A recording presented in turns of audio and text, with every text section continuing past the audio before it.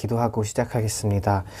사랑의 아버지 하나님 감사합니다. 이 시간 주님께 예배를 올려드립니다. 음, 주님을 예배할 때 어, 우리 예배가 어떤 장소나 형식으로 어, 규정되는 것이 아니라 어, 주님을 예배하는 예배자들이 함께 모였기에 어, 예배의 자리가 되는 그런 시간 될 수 있게 도와주세요. 감사드렸고 예수님의 이름으로 기도드립니다. 아멘. 네, 찬양하실게요.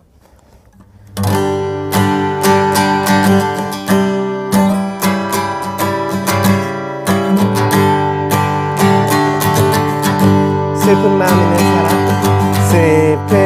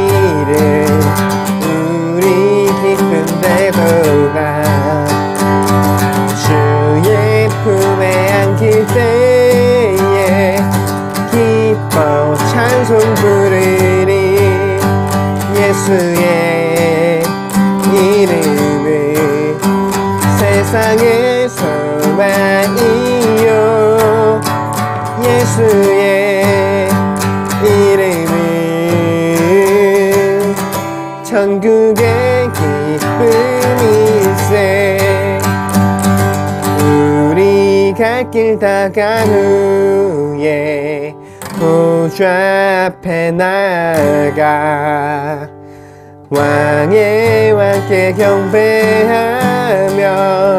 멸류관을 드리리 예수의 이름은 세상의 소망이요 예수의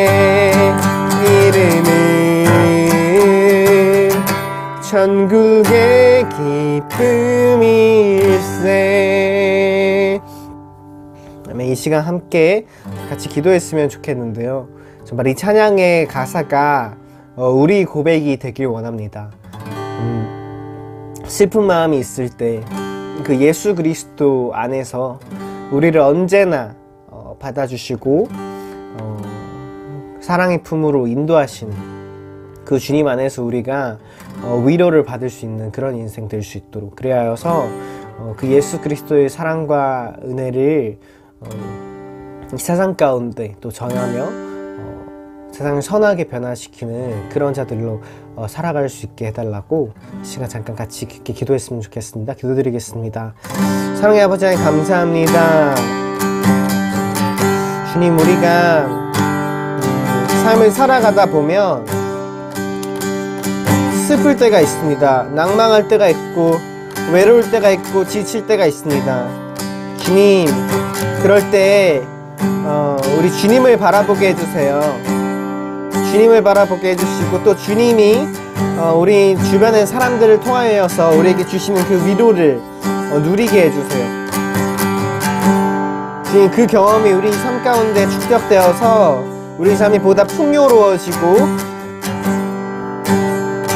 그래서 거저 받은 자들이 또 거저 주는 우리가 살고 있는 이곳을 한층 더 더불어 살기 좋은 곳으로 아름다운 곳으로 만드는 그런 자들 되게 하여 주세요. 주님, 예수 그리스도께서 하셨듯이 모든 벽을 허무시고 하나 되게 하신 그 주님의 역사가 우리 삶 가운데 우리 삶을 통하여 일어나길 소망하오니 우리 인도하시고 붙들어 주세요. 사랑의 아버지 하 감사합니다. 우리가 그 주님의 윤례들을 알고 주님의 법도를 알고 그것들을 따라서 살아가게 하시니 감사드립니다. 우리의 삶이 반듯하게 주님께서 명령하신 것들을 따라서 걸어갈 수 있도록 도와주시옵시고 혹 잠깐 벗어나게 되었더라도 그것을 깨달았을 때 빨리 돌아올 수 있는 은혜를 허락하여 주세요. 그래서 주님과 주님 기뻐하시는 길로 가며 주님과 동행하는 그런 삶 될 수 있게 도와주세요. 감사드렸고 예수님의 이름으로 기도드립니다. 아멘. 이 시간 사도신경으로 우리 신앙을 고백하겠습니다. 나는 전능하신 아버지 하나님 천지의 창조주를 믿습니다. 나는 그 유일하신 아들, 우리 주 예수 그리스도를 믿습니다. 그는 성령으로 잉태되어 동정녀 마리아에게서 나시고 본디오 빌라도에게 고난을 받아 십자가에 못 박혀 죽으시고 장사된 지 사흘 만에 죽은 자 가운데서 다시 살아나셨으며 하늘에 오르시어 전능하신 아버지 하나님 우편에 앉아 계시다가 거기로부터 살아있는 자와 죽은 자를 심판하러 오십니다. 나는 성령을 믿으며 거룩한 공교회와 성도의 교제와 죄를 용서받는 것과 몸의 부활과 영생을 믿습니다. 아멘. 기도드리겠습니다. 저희의 영원한 그리고 유일한 소망이신 우리 하나님 아버지 오늘도 이 귀한 예배의 시간을 허락하시며 감사를 드립니다. 아버지, 저희가 전도서 말씀을 우리 백정성 목사님의 그 입을 통해 듣게 됩니다. 모든 것이 헛되나 오직 주님만을 경외하고 주님을 따라 사는 삶만이 의미가 있고 그리고 거기에 소망이 있다는 것을 그 말하는 그 전도서를 통해 저희가 세상 사람들 다 바라듯이 그 세상 것들을 추구하는 것이 아니라 주님 안에서 참된 행복을 누릴 수 있는 자들이 되게 인도하여 주세요. 말씀을 전하시는 우리 백창성 목사님께 성령 충만함을 주시고 그 말씀을 듣는 저희들이 헛되고 헛된 삶이 아닌 정말 의미 있는 삶, 영원한 삶을 살아가는 자들이 될 수 있도록 인도해 주세요. 이번 한 주, 또 주, 주님께서 주시는 새로운 한 주, 그 귀한 선물을 저희가 받고 하루하루 주님을 더욱 닮아가고 가장 최선의 길로 인도하시는 하나님만을 의지하며 나아가게 해주세요. 우리 구주 예수 그리스도의 이름으로 기도드립니다. 아멘. 안녕하세요. 백목사의 크리스찬 독서교실 시간은 너무나 잘 여러분들이 알고 계시는 이영교 선교사님의 내려놓음 규장 출판사에서 출판되었습니다. 책을 소개합니다. 내 인생의 가장 행복한 결심이라는 부제가 붙어 있습니다. 사진은 몽골 게르가 있는 사진입니다. 자, 우리 저자에 대해서 살펴보도록 하겠습니다. 저자 이용규는 아, 서울대학교 동양사학과 학부와 대학원을 졸업하고 아, 미국으로 유학하셔서 하버드 대학에서 중동 지역학 및 역사학으로 박사학위를 받으셨습니다. 학위를 마치자마자 안락한 미래의 보장과 인간의 기대를 전부 내려놓고 가족 모두가 몽골 선교사로 헌신했습니다. 2004년 미국 보스턴 케임브리지 연합 장로교로부터 평신도 선교사로 파송을 받아 한국의 오병이어 선교회가 몽골 울란바토르에 설립한 일회교회를 섬겼습니다. 또한 몽골 국제대학교 MIU에서 교수 사역을 겸하였으며 2006년 9월부터는 몽골 국제대학교의 부총장으로 어, 사역하셨습니다. 유학 중 아, 코스타 집회, 해외 유학생 아, 집- 집회죠. 그래서 선교사로 헌신했으며 2005년부터 세계 여러 지역에서 교회, 청년, 선교사들을 대상으로 강의하고 설교하는 사역을 병행했습니다. 그는 강단에 설 때마다 시종일관 인생의 모든 편안의 기득권을 내려놓고 하늘로부터 채워지는 진정한 평안의 특권을 깨닫고 누릴 것을 말하고 자아가 십자가에 못 박히는 내려놓음만이 진정한 행복을 택하는 크리스찬의 출발점인 것을 온몸으로 증거해 왔습니다. 그러던 어느 날 하나님께서 아브라함에게 지시할 땅으로 가라고 하셨던 것처럼 그에게도 몽골을 떠나도록 하셨고 순종하는 그의 발길에 은혜를 부으셔서 전혀 생- 예상치 못한 인도네시아로 이끌어 가셨습니다. 이 땅으로 부르심을 받은 이용규 선교사는 2015년 인도네시아 교육 선교 자카르타 내 대학 설립 사역의 책임을 맡고 있으며 자카르타 국제대학을 설립을 위해서 기도하며 주님의 음성에 귀를 기울이고 있습니다. 저로서, 저서로서는 크리스찬뿐만 아니라 일반 독자까지 포함한 수십만 명에게 감동을 전한 베스트셀러 내려놓음을 비롯해서 더 내려놓음 같이 걷기 떠남이 있습니다. 책 속으로 들어가 보겠습니다. 움켜잡으려 하면 할수록 소멸되고 가지려 하면 할수록 공허해지는 우리의 삶 무엇으로 나의 삶을 풍성하고 행복하게 할 수 있을까? 진정한 내 것을 얻으려면 내려놓아야 한다.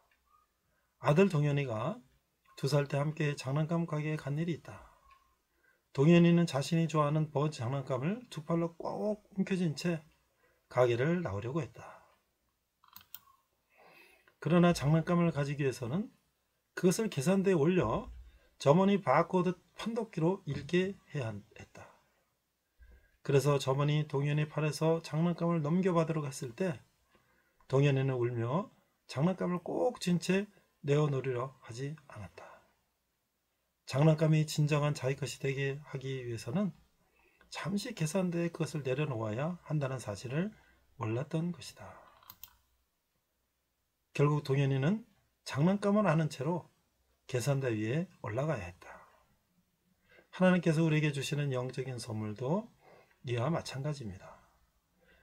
우리가 내려놓기 전에는 진정한 우리 것을 얻을 수 없다. 우리가 잡고 있는 문제는 우리가 쉽게 해결할 수 없다. 그렇지만 하나님께서 나의 문제를 내려놓고 인생의 계획까지 내어드린다면 해결받을 수 있다. 그러려면 잠시 내 것을 내려놓는 과정이 필요하다. 목차를 잠깐 살펴보도록 하겠습니다. 1부에서는 복의 통로가 되는 광야로의 부르심. 제1장 하나님은 왜 내려놓으라고 하실까? 2장 믿음으로 걷는 광야의 나그네길 3장 광야에서 만나주신 하나님 2부에서는 가장 좋은 것을 붙들기 위한 내려놓음. 제1장 하나님의 때를 기다리며 미래의 계획을 내려놓는다.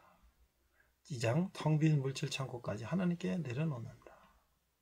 제3장 생명과 안전에 대한 염려마저 내려놓는다. 제4장 결과를 예상하는 경험과 지식을 내려놓는다. 3부 내려놓을수록 가득해지는 천국 노마드 제1장 나의 길을 앞서가시는 여호와 이래 제2장 하나님 한 번으로 만족할 때 하나님이 찾아오신다. 3장 버리고 낮춤으로써 얻게 하시는 오묘한 섭리 등이 기록되어 있습니다.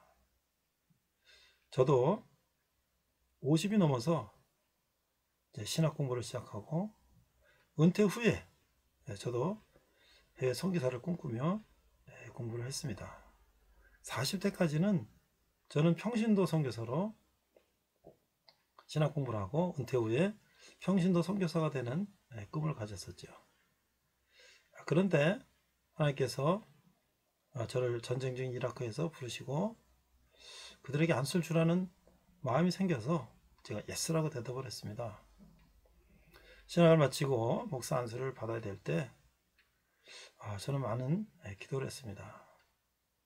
과연 이게 예, 가능한 것인가? 여러 가지 그 막연한 두려움과 아, 이런 것들이 있었어요. 그러나 제가 믿음이 없다는 생각을 하고 하나님께서 가라고 하신 길을 예, 가기 시작했습니다. 고위 목사가 되고 아, 사역 가운데 여러 가지 어려움도 있고 아, 막연했던 것도 있었지만 과정을 거치고 지나고 보니까 저는 이런 표현을 자주 합니다. 이 공수부대원들이 예, 훈련을 받을 때 아, 낙하산을 메고 헬리콥터에서 이제 땅으로 낙하를 해야 되죠. 근데 낙하산을 메고도 낙하를 할 때 잘못될까봐 어, 겁이 나서 막좀 우물쭈물하죠. 그럴 때 어떻게 합니까? 훈련 조교들이 그냥 엉덩이 뻥 쳐서 바깥으로 밀어내죠. 그 아이고 나 죽었다 하고 이제 낙하산을 메고 내려오는데 이게 자동으로 탁 펴지니까 아이쿠 이제 나는 살았구나 하면서 그 밑을 내려볼 때 그 밑에 그 자연의 그 이 엄청난 그 대자연의 광경을 내 눈으로 생생하게 볼수 있는 거죠. 용기를 내고 뛰어내릴 때만이 느낄 수 있는 그런 대자연의 아름다움을 느낄 수 있는 거죠. 저도 그런 생각을 해봤습니다. 마임규 성교사님의 내려놓음을 읽으면서 우리가 아, 우리 자신을 돌아보고 또 우리의 인생을 돌아보며 우리가 내려놓을 때 내려올 것이 무엇인지를 생각하는 그런 시간이 됐으면 좋겠습니다. 이상 백목사의 크리스찬 독서 기자셨습니다. 감사합니다. 자, 이번 시간은 어, 솔로몬 이야기 전도서를 나누도록 하겠습니다. 참된 선 찾기. 또한 우리 이용기 성교사님의 내려놓음을 또 가지고 우리 함께 말씀을 나누고자 합니다. 먼저 본문은 어, 전도서 1장 2절 우리가 너무나 잘 알고 있는 말씀이죠. 한글과 아영어로 한 절씩 같이 읽도록 하겠습니다. 전도서 1장 2절 전도자가 이르되 헛되고 헛되며 헛되고 헛되니 모든 것이 헛되도다. 자, 영어로는 NASB 버전은 이렇게 되어 있습니다. Vanity of vanities, uh, says the preacher. Uh, vanity of vanities, all is vanity. vanity라는 게 이제 헛되다 이런 얘기죠. 자, 우리는 전도서를 어, 떻게 우리 한번 읽을까? 하나님만이 삶의 의미를 발견하는 열쇠를 가지고 계신다. 결론적으로 말해서 세상 것보다는 하나님의 것으로 채워나가야 된다. 라고 하는 것이죠. 이 전도서는 우리에게 인생의 의미에 대한 해답을 주는 책이다. 전도서는 하나님 없이 인생의 의미를 추구해본 한 사람의 인생의 실험장이다. 바로 솔로몬이죠. 전도서의 구조는 아, 파악하기 난해한데 다음 같은 교차 대칭 구조로 파악하면 비교적 그 구조적 특징이 잘 나타난다. 우리가 예, 아가서도 그렇고 전도서 그렇고 이렇게 예, 저자가 이 대칭 구조로 이제 예, 글을 썼다는 거야. 처음 보니까 이제 1장 1절 서론이 나오고 1장 2절에 보니까 인생 무상에 대한 시가 있어요. 그 다음에 이제 1장 2절부터 2장 26까지 하나님 없이 인생의 의미를 발견할 수가 없다. 라고 하는 것이죠. 그 다음 네 번째는 3장 1절에서 15절 시간에 대한 시가 있어요. 그래서 이제 중심부는 3장 16절에서 6장 12절까지 하나님을 경외하라. 이게 결론이죠. 이게 핵심이고요. 다시 교차 대조로 갑니다. 아, D에서 7장 1절에서 14절 시간에 대한 시. 다시 7장 15절에 10장 19절 하나님 없이 인생의 의미를 발견할 수가 없다. 다시 두 번째 인생 무상에 대한 시. 그 다음 다시 첫 번째로 가서 이제 처음에 서론이었다면 이제 마지막에 결론이 되겠죠. 이 전도서 기자는 하나님 없이 철학과 학문과 쾌락과 술과 여자와 직업 등에서 인생의 의미를 찾아보려고 수고했지만 추구했지만 결국 실패했다라고 하는 것이죠. 인간의 모든 삶은 인간의 죽음 앞에서 모든 의미를 상실하고 마는 것이죠. 죽음 앞에 마주선 인생은 인생 무상을 느끼지 않을 수 없고 삶의 무의미, 부조리, 공허를 느끼지 않을 수가 없는 것이죠. 전서는 하나님 없이 인생의 의미를 찾는 것은 바람을 잡으려는 것처럼 헛된 일이라는 것을 보여주고 있는 것이에요. 그러나 인생이 무의미한 존재는 결코 아니라고 하는 것이에요. 인생의 참된 의미, 인생의 삶과 죽음의 수수께끼는 하나님 안에서 풀린다고 하는 것이죠. 하나님만이 내 인생의 참 의미를 푸는 열쇠를 가지고 계시는데 이는 하나 하나님이 이, 이, 이 나를 창조하셨기 때문이다. 하나님이 내 인생에 대한 계획과 목적을 가지고 계시기 때문이다. 그러므로 전도서가 우리에게 말해주는 지혜는 내 인생의 의미와 목적을 알기 위해서 하나님께 나와야 한다는 것이에요. 하나님 안에서 인생의 의미를 바르게 발견한 사람은 하나님을 경외하는 마음으로 하나님의 말, 말씀에 순종하면서 하루하루를 기쁨과 감사로 채워가는 사람이다. 라고 하는 것이죠. 그래서 이제 전도서를 보면은 크게 네 가지로도 나눠볼 수가 있는데 처음에는 이제 경험을 통한 탐색을 하고 있어요. 그래서 지혜를 추구했고 쾌락을 추구했고 또 지혜와 쾌락이 어떻게 비교가 되고 그래서 이제 참정 결론을 내려요. 그 다음에 또 이제 두 번째는 일반적 관찰을 통해서 또 세상을 탐색해 보는 거예요. 그 자연적 질서에 또 인간 사회 병폐와 그 다음에 앞에 것들에 대한 또 충고하고 또 잠정 결론을 내는 거예요. 경험과 또 일반적 관찰을 통해서 세상을 바라봤는데 세 번째는 또 실천적 도덕으로 또 탐색해 보는 거예요. 그 물질적 것들이 영적 만족을 줄 수가 없다는 것을 깨닫고 또 이상적 편협과 이 세 번째 결론을 내리게 되는 것이죠. 그래서 마지막으로는 이제 반성과 결론에 이르게 되는데 큰 악이 여전히 있고 참된 선은 무엇인가? 그것은 바로 하나님과 함께 하기라는 것이에요. 그래서 이제 최종 결론을 내리는 것이죠. 그래서 이 전도서는 인생의 허물을 말하는 책이 아니고 오히려 인간이 어떻게 참된 행복, 참된 선을 추구할 수 있는가를 가르쳐주는 책이다 라고 하는 거예요. 인간 존재 가치에는 어떤 의미가 있는가? 이 전도자는 여기서 코알렛이라고 이제 표현했는데 그래서 바로 이제 하나의 교사라고도 할 수가 있죠. 바로 이 저자 전도자는 예, 참된 선, 인생의 진정한 행복을 찾기 위해서 여러 가지로 애를 썼지만 그 노력은 부질없다는 결론에 도달하게 되는 거예요. 결국 모든 것이 헛되고 헛되다는 예, 것이라고 하는 것이죠. 그래서 전도자는 인생의 선, 행복을 찾기 위해서 이 지혜를 추구했었다. 전서 1장 2절을 보니까 지혜가 많으면 번뇌도 많다는 거예요. 12절 1장 12절 나 전도자는 예루살렘에서 이스라엘 왕이 되어 마음을 다하여 지혜를 써서 하늘에서 행하는 모든 일을 연구하며 살핀 적 이는 괴로운 것이니 하나님이 인생에게 주사 수고하게 하신 것이라. 14절 내가 하늘에서 행하는 모든 일을 보느라 보라 모두 다 헛되어 바람을 잡으려는 것이로다. 구부러진 것도 곱게 할 수 없고 모자란 것도 셀 수 없다다. 16절 내가 내 마음속에서 말하 이르기를 보라 내가 크게 되고 지혜를 더 많이 얻었으므로 나보다 먼저 예루살렘에 있던 모든 사람들보다 낫다야 하나니 내 마음이 지혜와 지식을 많이 만나 보았음이로다. 17절 내가 다시 지혜를 알고자 하며 미친 것들과 미련한 것들을 알고자 하여 마음을 썼으나 이것도 바람을 잡으려는 것인 줄을 깨달았도다. 지혜가 많으면 번뇌도 많으니 지식을 더하는 자는 근심을 더하느니라. 어쩌면 이렇게 구구절절히 세상의 경험을 얘기할 수 있을까요? 나이 전도자는 쾌락도 추구했다. 그래서 이 즐거움도 헛되다고 하는 거예요. 2장 1절을 보고 11절을 보니까 1절 나는 내 마음에 이르기를 자 내가 시험 삼아 너를 즐겁게 하리니 너는 낙을 두리라 하였으나 보라 이것도 헛되도다. 내가 수에 관하여 말하여 이르기를 그것은 미친 것이라 하였고 희락에 대하여 이르기를 이것은 무슨 소용이 있는가 하였노라. 3절 내가 내 마음을 깊이 생각하기를 내가 어떻게 하여야 내 마음을 지혜로 다스리면서 술로 내 육신을 즐겁게 할까 또 내가 어떻게 하여야 천하의 인생들이 그들의 인생을 살아가는 동안 어떤 것이 선한 일인지를 알아볼 때까지 내 어리석음을 꼭 붙잡아 둘까 하여 나의 사업을 크게 하여라.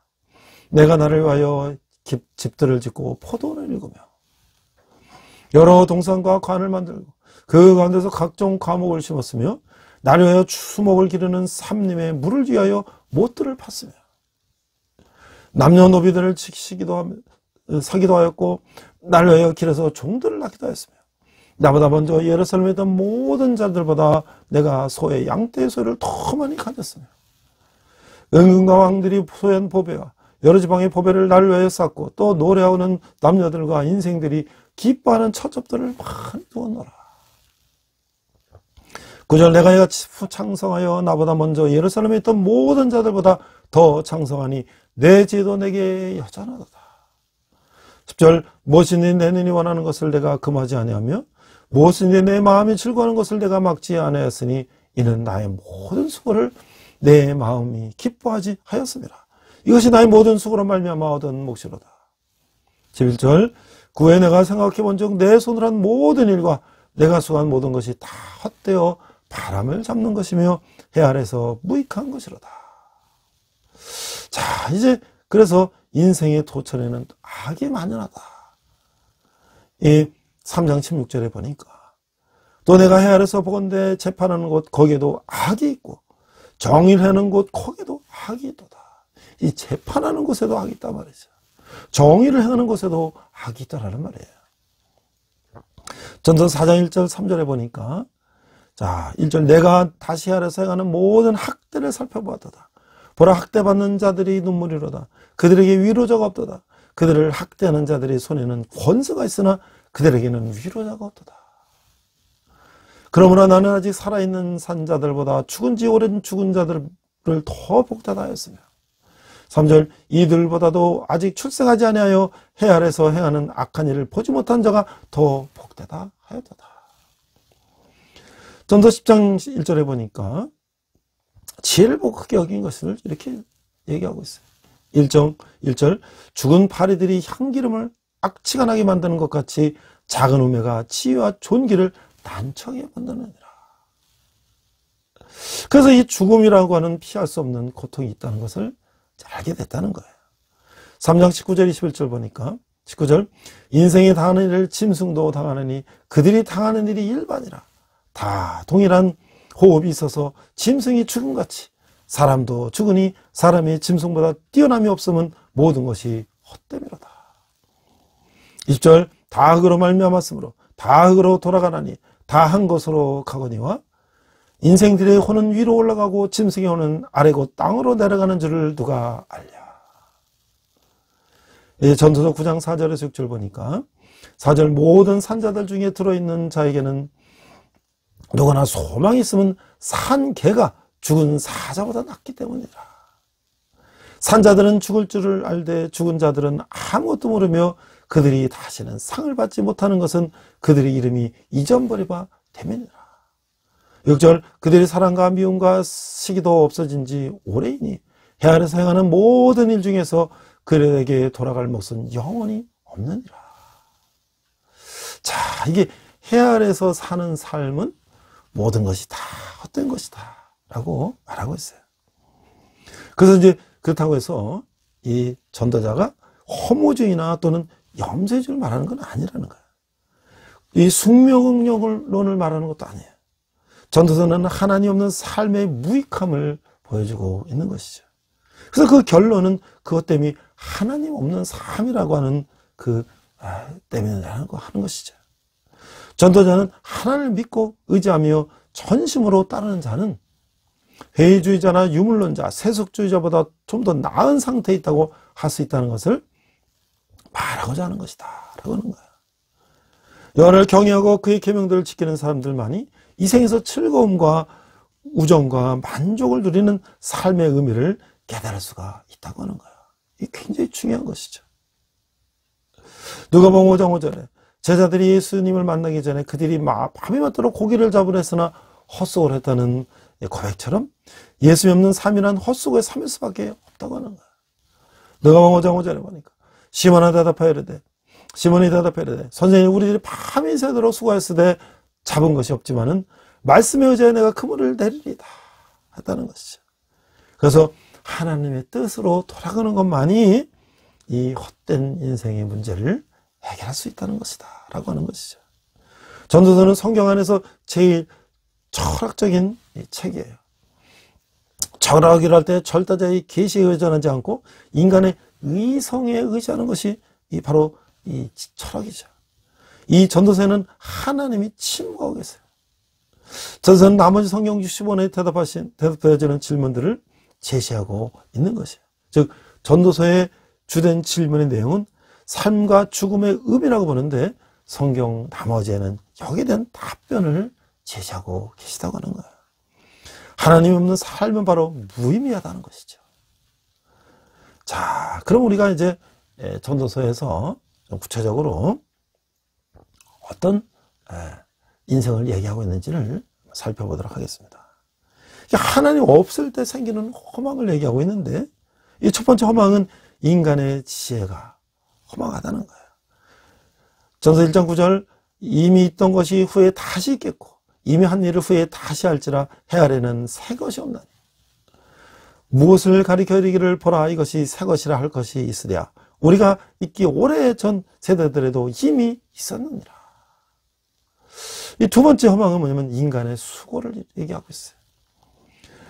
전서 2장 22절. 사람이 헤아려서 행하는 모든 수고와 마음에 애쓰는 것이 무슨 소득이 있으랴?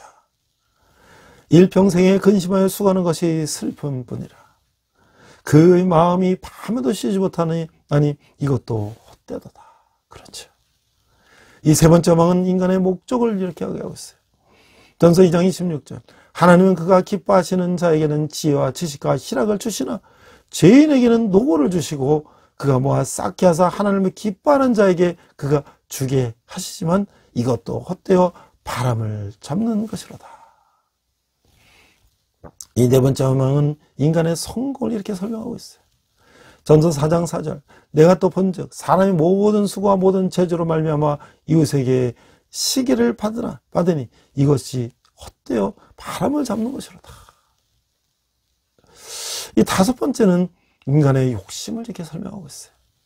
전서 4장 8절 어떤 사람은 아들도 없고 형제도 없이 홀로 있으나 그의 모든 수고에는 끝이 없소다.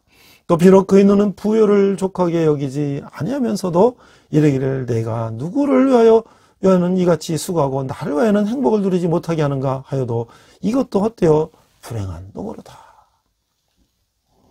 여섯 번째는 인간의 명성을 이렇게 설명하고 있어요. 전서 4장 16절에 보니까 그의 치리를 받는 모든 백성들이 무수, 무사였을지라도 후에 오는 자들은 그들을 기뻐하지 아니하리니 이것도 헛되어 바람 잡는 것이었다. 이 명성도 헛되다. 이 일곱 번째는 인간의 부를 이렇게 설명하고 있어요. 재물과 부유와 종기도 헛되다고 하는 것이죠. 전서 5장 10절에 보니까 은을 사랑하는 자는 은으로 만족하지 못하고 부녀를 사랑하는 자는 소득으로 만족하지 아니하나니 이것도 헛되도다. 재산이 많아지면 먹는 자들이 많아지나니 그 소유자들은 눈으로 보는 것 외에 무엇이 유익하냐. 그래서 어, 책에 보니까 이 돈기도문이라는 이런 게 나와 있어요. 이 주기도문이 이 돈으로 바뀐 거죠. 지각과 통장에 계신 돈님이요. 당신의 이름을 고래 기억을 받으시오며 돈이 판치는 세상에 오셨사오나 소득이 부동산 투자에서 이러니 같이 증권에서 이루어지이다. 오늘 나에게 쓰고 남은 잔돈까지도 다 주셨고 우리를 불황에 들게 안 마시며 부도와 파산에서 구하소서 대개 자본의 나라 권세 영광이 돈님께 원해서합니다. 뭐 이렇게 이제 이 거예요.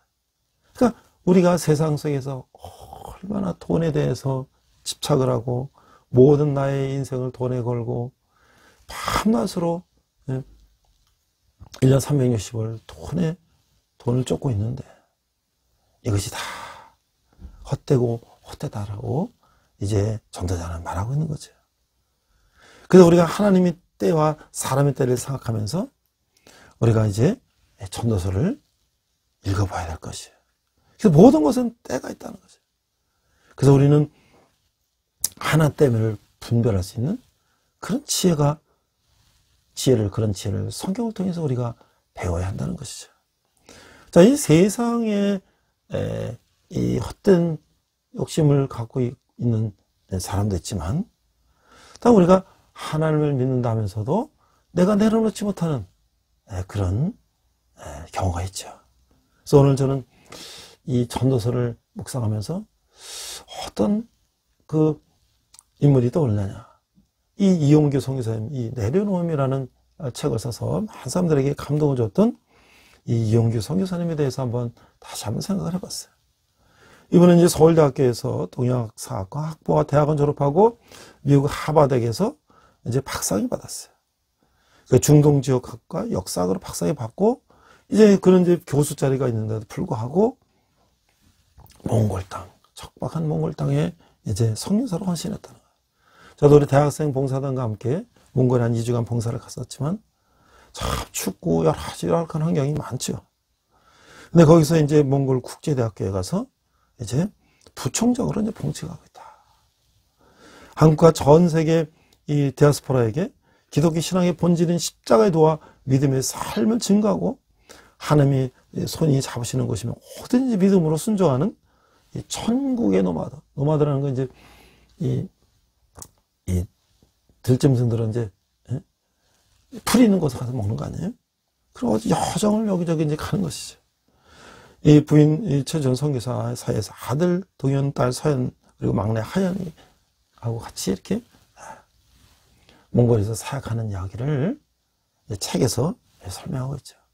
그래서 여러분들 많은 사람들이 이 책을 보고 많은 감동을 느꼈을 거예요. 저는 다시 한번 이 책을 찾아보면서 이 책의 내용 우리가 많이 알고 있는데 이 책을 읽고 이 여러 독자들이 리뷰를 달았어요. 독, 후기를 달았죠. 그 중에 한 분이 참 이런 이 공감이 가는 리뷰를 달아서 제가 익명으로 한번 소개를 하고자 합니다. 이번에 이렇게 썼어요. 아, 이정, 이용규 내려놓음, 예, 규장에 지은 이 책을 보고 젊은 시절에는 무엇이든지 못할 게 없다고 생각했다.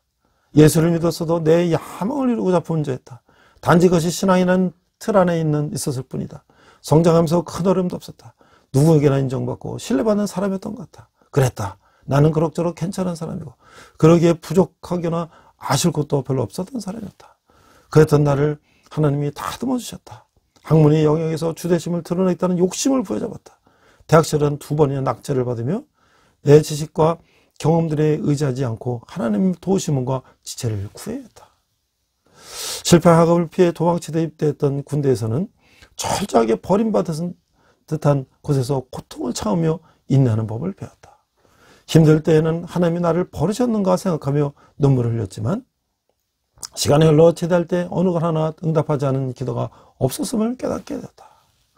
심각한 취업난으로 모두가 눈을 눈에 불을 켜고 공부하던 하던 졸업한 때 두려움과 불안 그리고 욕심을 내려놓았을 때 하나님께서 마음에 큰 평안을 주셨고 치열한 경쟁을 뚫고 당당하게 현재 자리에 있도록 인도하여 주셨다.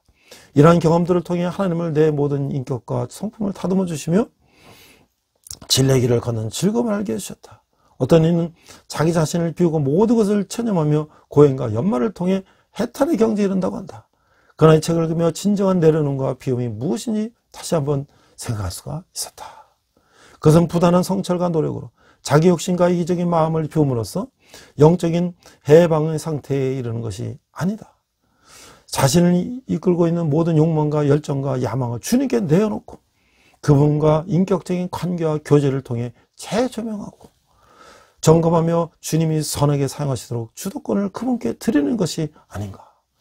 이제는 하나님께 온전한 내 것을 드려 그분이 직접 행하실 것을 기대하며 기다린다는 기다리는 수준으로 나아가기를 원한다. 특히 이 책에서 감동을 얻은 것은 저자가 무슨 일 하든지 하나님께 기도하며 그분의 음성을 듣고 따르는 모습이었다. 도대체 어떻게 그분의 음성과 환상을 찾아보고 들으며 인정을 받는 것일까? 나는 것이 특별한 영적 연사기도 함지만 무엇보다도 하나님의 음성을 기울이는 태도와 묵상과 기도를 갖는 인격적 교제를 통해 가능하리라고 생각한다.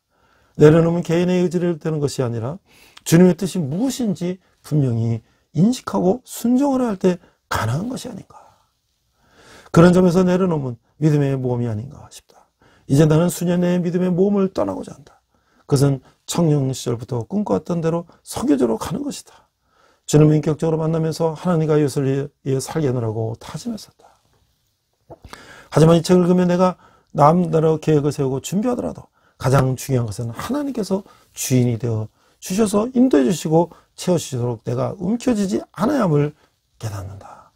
때때로 몰려드는 욕심이나 안정에 대한 욕구, 인정받고 싶은 마음, 낙심하는 마음을 주님이 십자가에 못 박을 때그 주님께서 더욱 풍성한 것으로 다시 채워줄 것을 믿는다.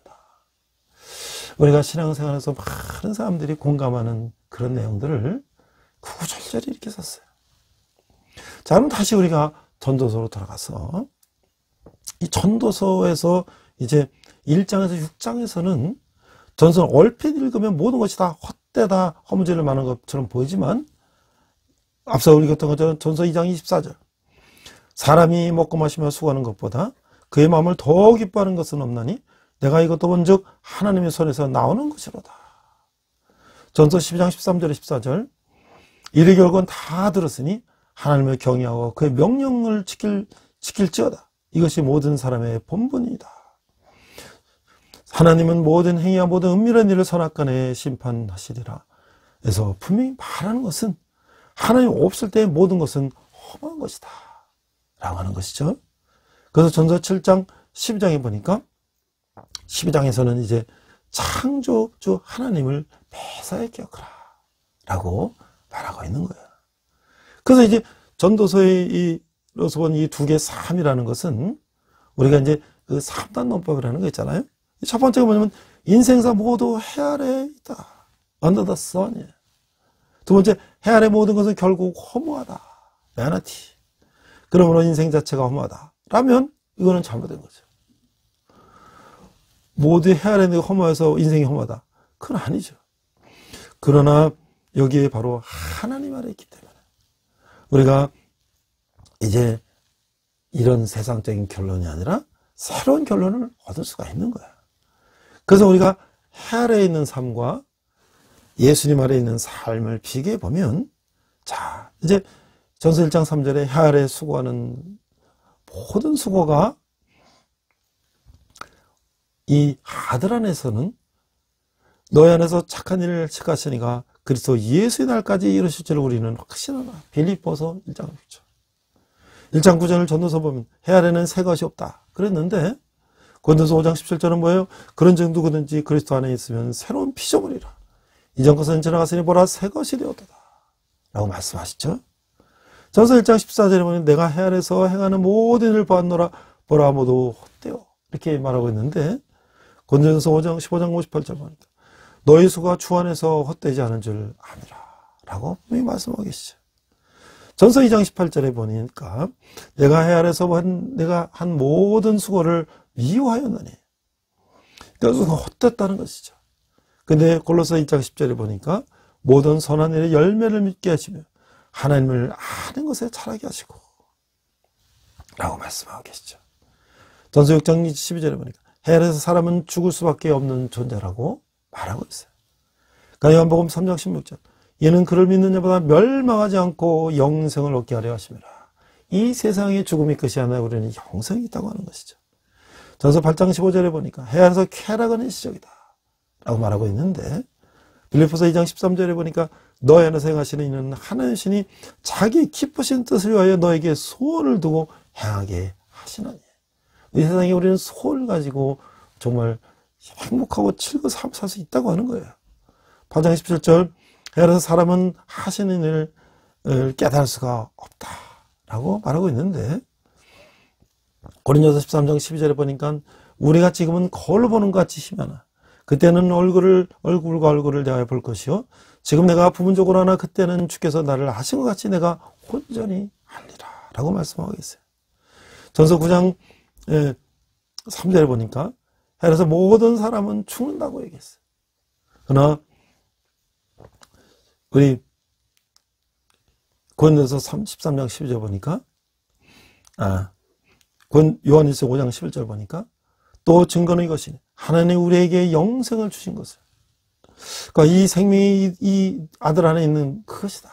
우리에게 영생을 주셨다. 라고 말씀하고 있죠. 전서 9장 11절 보니까 해 아래서 힘센 것과 빠른 것이. 고린도전서 1장 27절을 보니까 또 증거는 이것이니 하나님이 우리에게 영생을 주신 것과 이 생명이 그의 아들 안에 있는 것 그것이니라 라고 말씀하고 계시죠. 9장 11절 보니까 헤아려서 힘센 것과 빠른 것 그네 고린도서 1장 27절 보니까 그러나 하나님께서 세상의 미련한 것들을 택하사 있는 자들을 부끄럽게 하시고 세상의 약한 것들을 택하사 큰 것들을 부끄럽게 하신다. 그렇죠.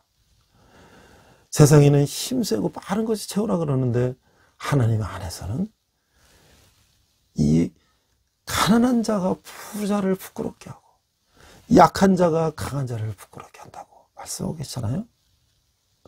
자, 이제 또 마지막으로 헤레스 3는 멈추게 된다.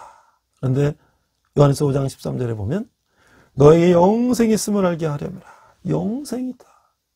그러니까 우리가 인생이 헛되다고 하는 것은 이 세상에 아무리 부경을 누려도 우리 인생이 죽으면 끝이라고 하는 그런 시각을 가지고 있는 것인데 우리 예수 믿는 자들은 영생을 얻으며 신랑 예수님과 함께 천국에서 영생을 한다는 것을 우리는 알고 있기 때문에 이 땅은 나가내라는 것이에요. 그래서 이 땅의 죽음은 그렇게 마지막이 아니라는 것을 우리는 알고 있죠. 자, 이제 마지막으로 전도서가 밝혀주는 이제 염세주의, 허무주의 이런 것들은 왜 생길까?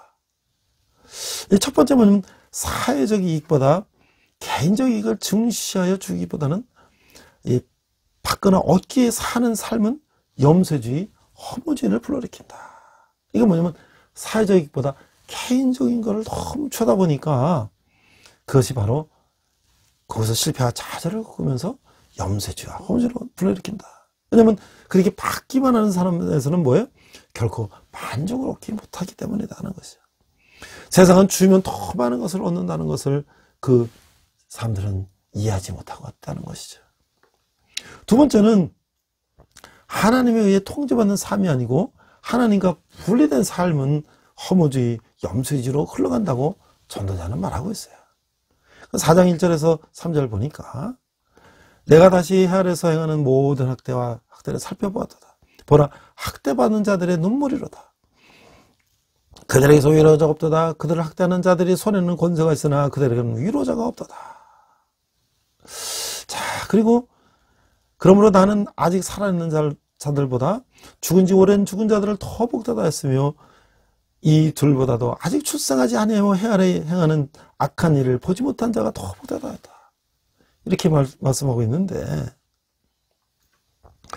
이게 우리가 더 도시화되고 산업화되고 이게 되면서 이 하나님을 점점 이 삶과 멀어지고 있어요.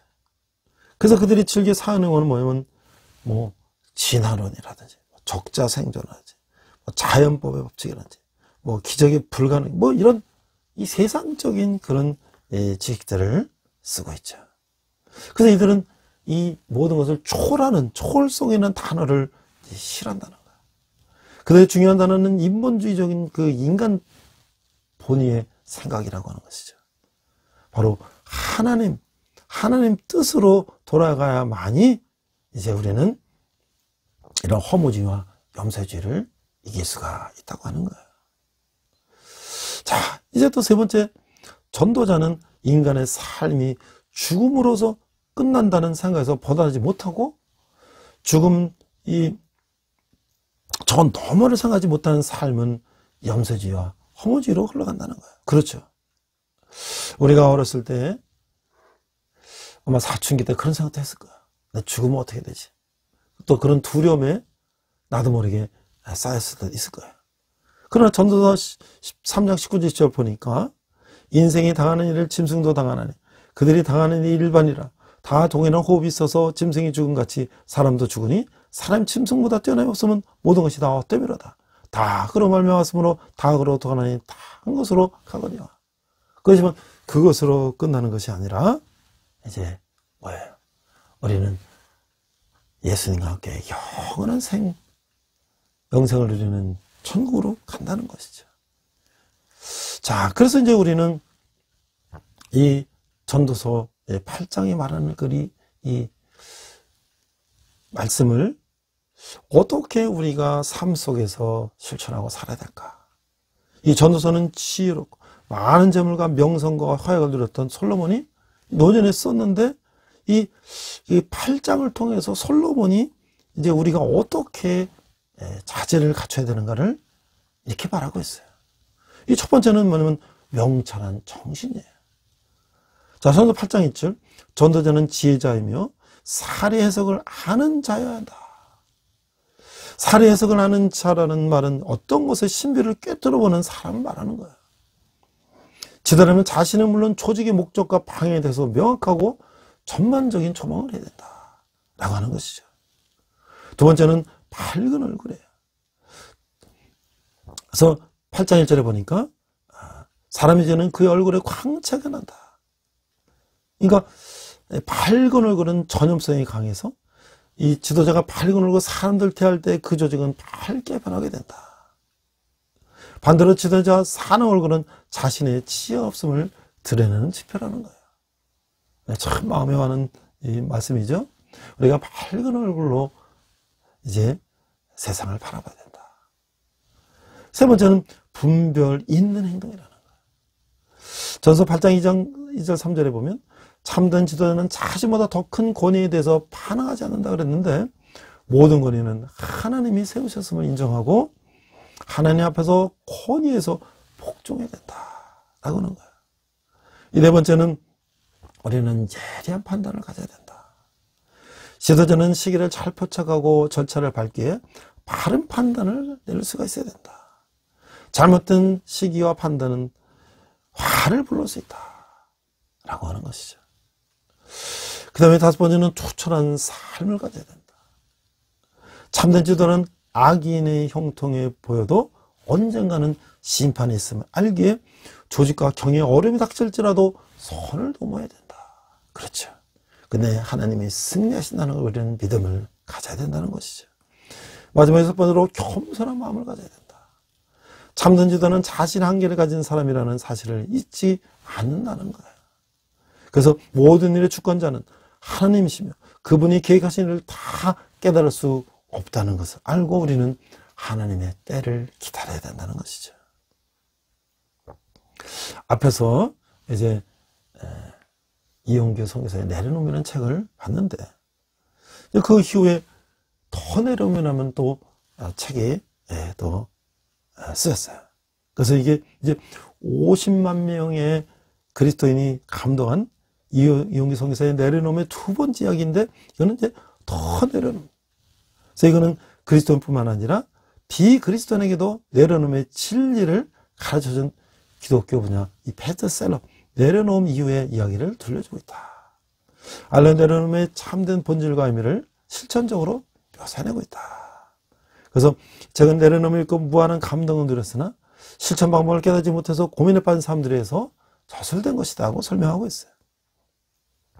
기독교의 중심 진리인 십자가의 길을 실질적이며 구체적으로 다루면서 내려놓음이란 십자가를 통해 우리의 자아가 죽음을 맞이하고 하나님은 우리 안을 가득 채운다는 뜻임을 다시 한번 가르쳐 주고 있다는 거예요. 알로 내려을 둘러싼 그 오해도 풀어주고 있다는 거예요. 그래서 저는 우리가 자기애, 자기의 사랑과 자기의, 자기가 옳다고 하는 것을 더 내려놓아야 한다고 말하고 있어요. 자아중심으로 자기를 사랑하는 태도뿐 아니라 하나님 앞에서도 자기가 옳다고 생각하는 태도의 문제점에 대해서 성경적으로 생각하도록 이끌고 있다고 하는 거예요. 특히 저자가 아내와의 사이에서 경험한 자기의 자기 의에 대한 하나님의 인도하심을 솔직하게 고백하며 공감을 주고 있다라는 거예요. 우리가 이 세상적인 생각을 가지고 인생을 살 때는 우리가 눈에 보이는 것이 전부이고 내가 생각하는 것이 전부인 줄 알지만 그 인생이 지난 다음에는 그 너머의 세계가 있다는 것을 우리는 깨닫게 되죠. 그러나 그때는 이미 인생의 황금기는 지나간 것이죠.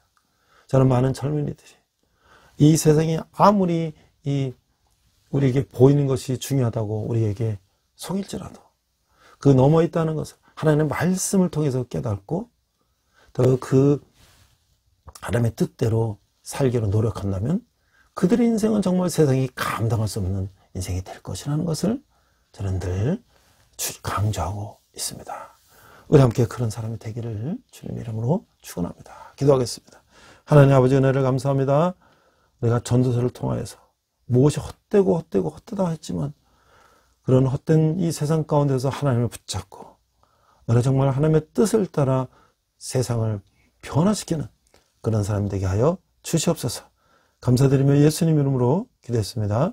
아멘. 이 시간 어, 헌금 찬양 하시겠습니다.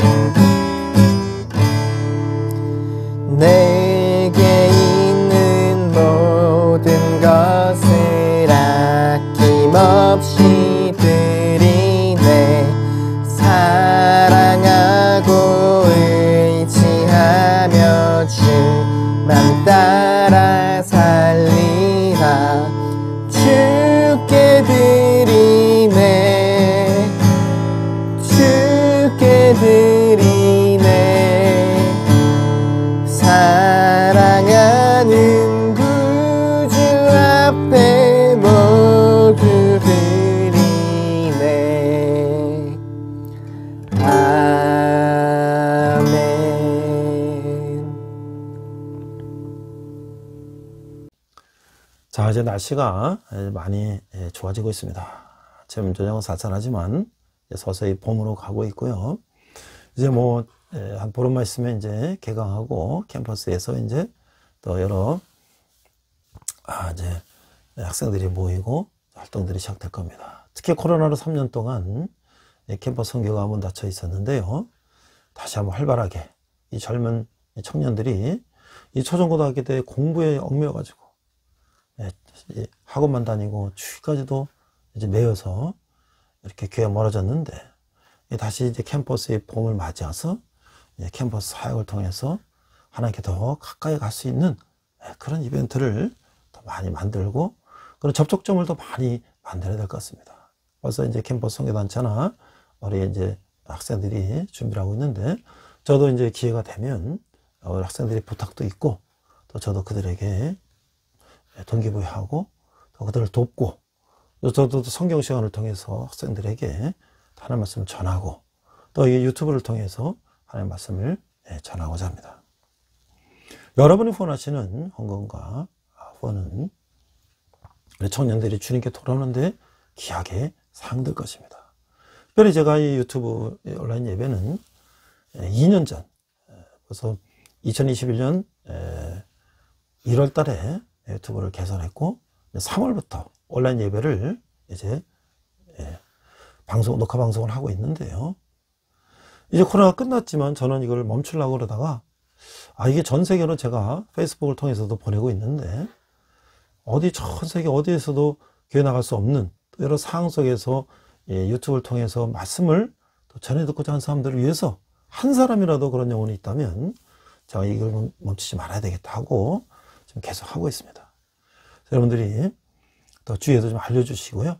또 이 구독도 좀 눌러주시고 제가 지금 아, 한 2년 했는데 한 530명 정도의 구독자하고 뭐 조회수가 거의 한 10만에 이제 가까이 왔어요. 저는 처음에 제가 이 정도가 될 거라고는 생각도 못했습니다만은 부족하지만 아, 많은 분들이 또 이 유튜브 방송을 통해서 또 어, 하나님을 또 알게 된다면 하나님께서 이 유튜브 채널을 귀하게 예, 사용할 것입니다. 우리 한번 기도하겠습니다. 하나님 은혜를 감사합니다. 저기 좁은 예문을 주님께 드렸습니다.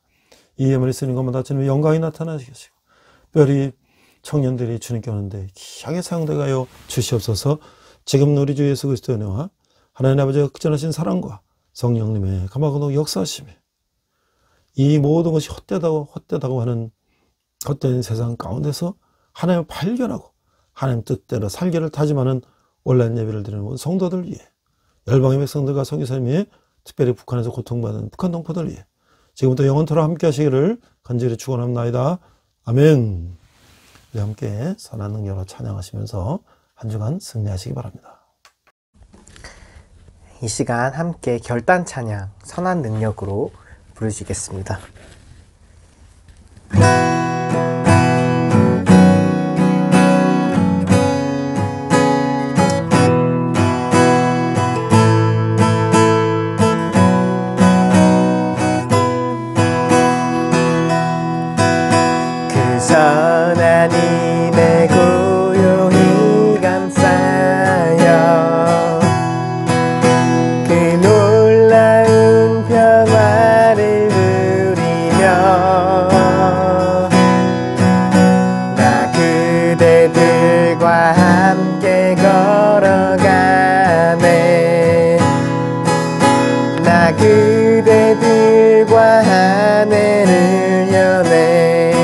지나간 허물 지나간 허물 어둠의 날들이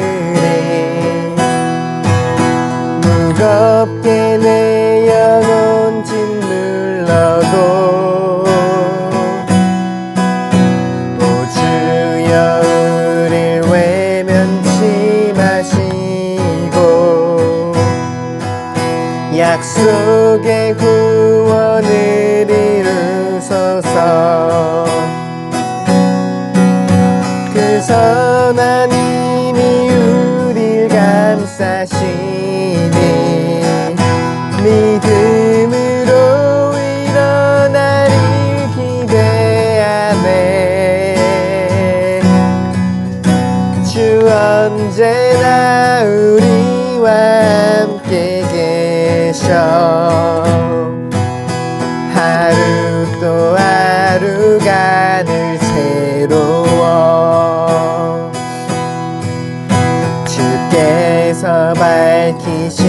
작은 촛불이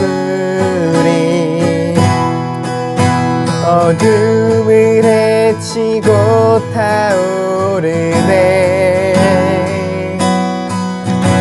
그 빛에 우리 모두 하나 되어 오늘이에 비추게 하소서 그 선한 힘이 우리 감싸시니 믿음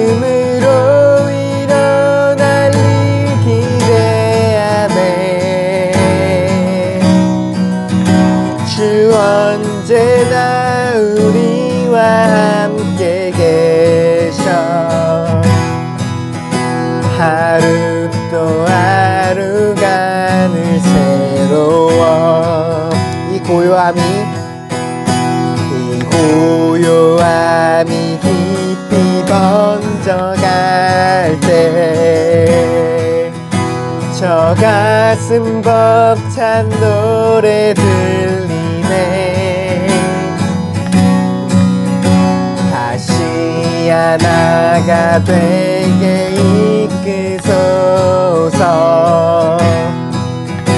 당신의 빛이 빛나는 이밤 그 선한 힘이 우리 감싸시니 믿음으로 일어나를 기대하네. 주 언제나 우리와 함께 계셔. 하루 또 하루가 늘 새로워. 주 언제나? 주 언제나 우리와 함께 계셔 하루 또 하루가 늘 새로워 주님과 동행하는 어, 복된 한 주 되시길 축복합니다.